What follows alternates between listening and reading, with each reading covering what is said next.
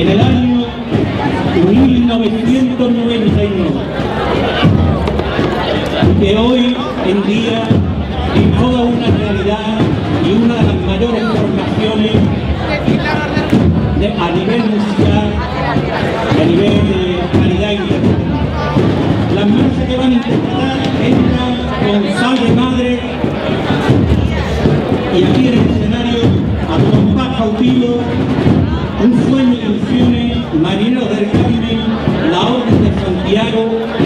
you.